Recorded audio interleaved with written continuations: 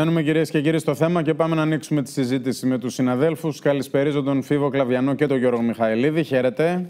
Καλησπέρα. Καλησπέρα και χρόνια πολλά. Χρόνια πολλά.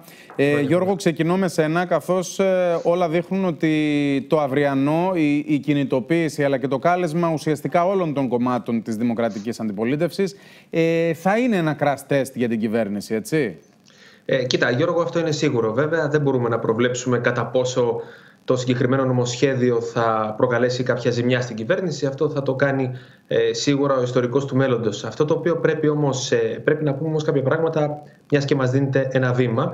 Και επειδή αύριο έχουμε και μια μεγάλη απεργία μπροστά μας, ναι. καλό είναι να συζητάμε επί μιας βάσης ε, σύμφωνα με τα όσα γνωρίζουμε. Καταρχάς, να ξεκινήσουμε λίγο ρεπορτάζ. Το νομοσχέδιο αναμένεται να παρουσιαστεί επισήμως την ερχόμενη Τρίτη ή Τετάρτη σε μια αρκετά μεγάλη συνέντευξη τύπου.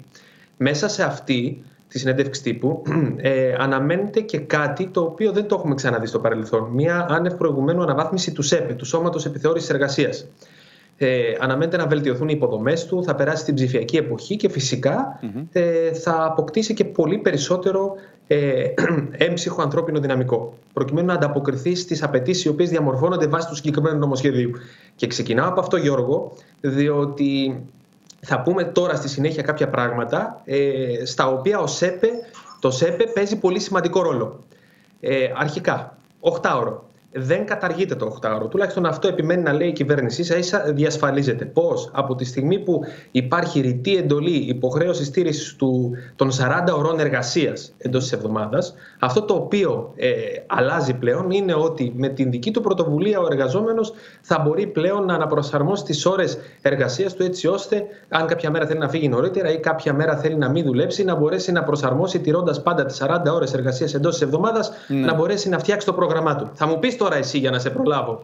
Επειδή το είπε προηγουμένως και ο κύριος Βούτσης, ο εργοδότης και ο εργαζόμενος σαφώς δεν έχουν την ίδια διαπραγματευτική ισχύ. αυτό, το αναγνωρί... αυτό το αναγνωρίζουμε όλοι μας. Η απάντηση λοιπόν, Γιώργο, αυτή δίνεται μέσα από την ψηφιακή κάρτα εργασίας. Η οποία ψηφιακή κάρτα εργασίας είναι κάτι το οποίο δεν έχει ξαναεφαρμοστεί ποτέ στην Ελλάδα. Ουσιαστικά, το έχουμε πει και το προηγούμενο διάστημα, πλέον το λέμε λίγο πιο, ε, ε, λίγο πιο αναλυτικά, ο εργαζόμενος θα έχει μια εφαρμογή στο κινητό του. Ναι. Η οποία εφαρμογή θα είναι συνδεδεμένη με τον ΣΕΠΕ. Στην εφαρμογή αυτή ο εργαζόμενος θα μπορεί να μπει, να δηλώσει πόσες ώρες έχει εργαστεί ο ίδιος στο κινητό του και, αυτό, και αυτή η διαδικασία θα είναι μια παράλληλη καταγραφή ε, με την καταγραφή που κάνει το λογιστήριο της εκάστοτε επιχείρησης ή εταιρείας. Στο σημείο αυτό πρέπει να τονίσουμε ότι εάν διαπιστώνεται ότι υπάρχει ε, ότι υπάρχουν κενά ή τέλος πάντων υπάρχει ε, διαφωνία σε αυτά τα οποία δηλώνει ο εργαζόμενος σε σχέση με αυτά τα οποία δηλώνει η επιχείρηση, ναι. τότε ο ΣΕΠΕ, ε, το, το ΣΕΠΕ θα ε, επεμβαίνει αυτεπαγγέλτος. Χωρίς καν δηλαδή να χρειάζεται να περάσει αυτή τη βάσανο ο εργαζόμενος του να καταγγείλει ο ίδιος κατά περίπτωση να πάρει επωνύμως και να πει ότι αντιμετωπίζει πρόβλημα. Ε, να έρθουμε όμως ε, στο, στο μείζον ζήτημα του 8 ώρου και στη ναι, ναι, διαμόρφωση. Και να με αυτό για να πάμε και στο ναι, φίβο. Ναι. Ναι, ναι, ναι, και στη διαμόρφωση του ωραρίου εργασίας.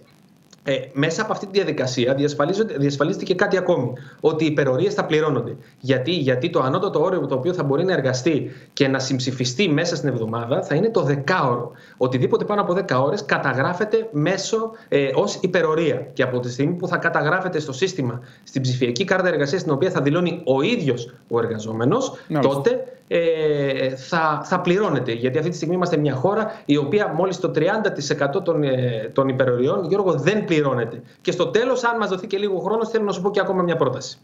Φίβο.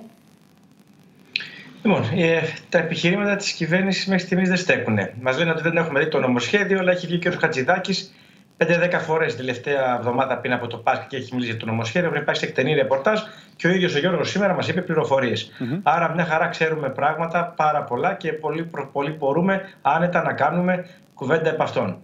Ε, δεύτερον, ε, Ποιος λέει ότι αυτό με το δεκάωρο θα επαφίεται στη διάθεση του εργαζόμενου απλά με τη σύμφωνη γνώμη του επιχειρηματία, της επιχείρησης, είτε κάνει το χαζό, είτε είναι τελείως άσχετος με την αγορά εργασίας και δεν έχει δουλέψει ποτέ, του στη, ποτέ στη ζωή του σε, πραγμα, σε πραγματική θέση. Πολλοί από αυτούς στην κυβέρνηση όντως δεν έχουν δουλέψει σε πραγματική θέση όπως όλοι μας οι υπόλοιποι που είμαστε εξαρτημένοι από το μισθό μας.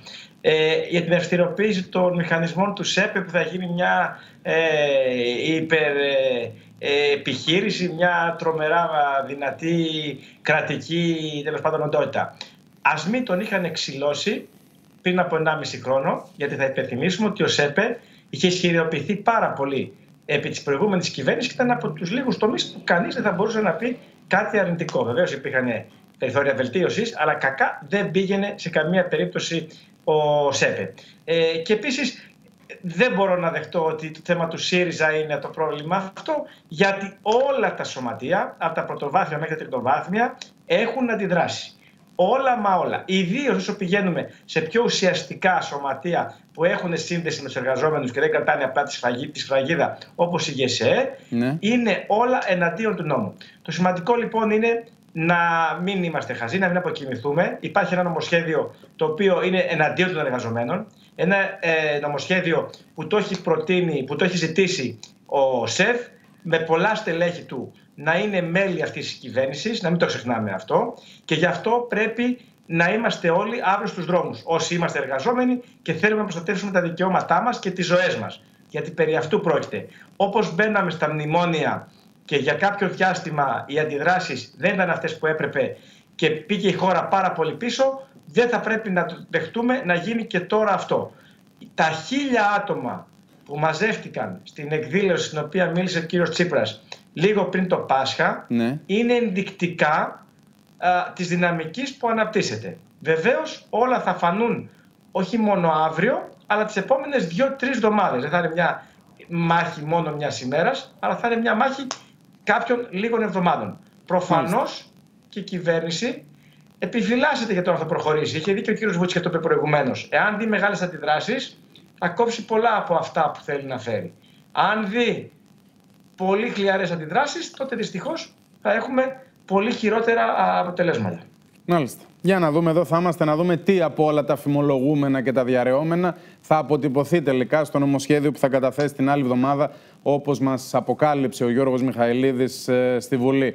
Να σε ευχαριστήσω και τους δύο θερμά. Καλό βράδυ. Καλό βράδυ. Καλό βράδυ.